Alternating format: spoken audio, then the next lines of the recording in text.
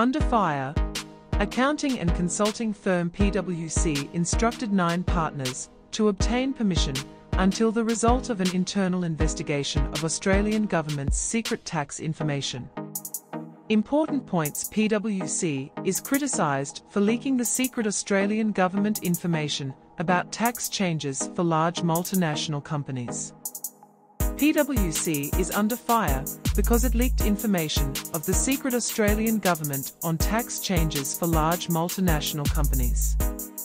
The company refused to explain names of other people who have been copied to emails related leaked information the company refused to explain the names of other people who have been copied emails related leaked information and directed obtain joint leave and PwC will separate the federal government consultancy functions the company also announced that governance board and presidents of determined risk committee resigned with two independent managers who have no executive duties to be assigned to board of directors.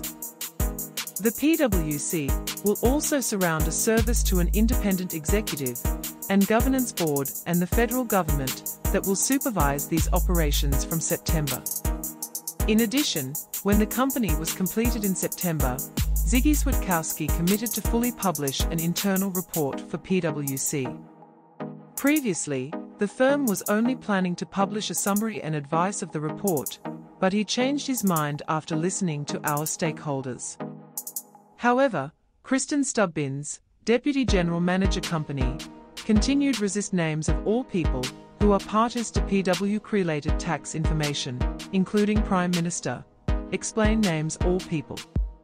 Chris Stubbins became Deputy General Manager of PwC after the previous boss quit after tax scandal. Some of them have a assumption that everyone who has been named after the names must be mixed with a crime. This is wrong, Mrs. Stubbins wrote in a clear letter.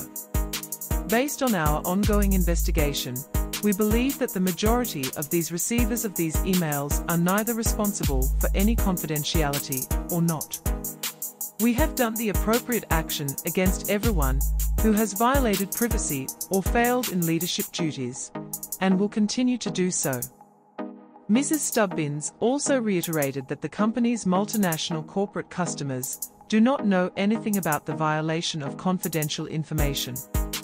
Mrs. Stubbins, our customers did not mix any crime, and no secret information was used to ensure that customers pay less tax, he said. However, at beginning of open letter, CEO Deputy admitted that company was aggressive in marketing corporate tax services at that time.